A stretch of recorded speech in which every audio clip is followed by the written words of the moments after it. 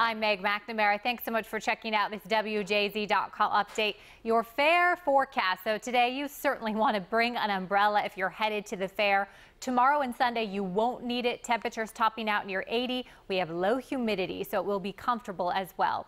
Let's time out this rain, shall we? So here's the future cast. Throughout the afternoon, we are just about done with it. So 4 o'clock, the last little bit. I think by 5, 6, we are dry. We're good to go for the weekend and not expecting any more rain. In fact, the chance for rain doesn't even return to the forecast until Tuesday. What happens throughout the day on Saturday is the clouds clear out. So today we'll eventually get rid of the rain. Tomorrow we get rid of the clouds. 73, the high for the day. So thanks to the moisture, thanks to the clouds.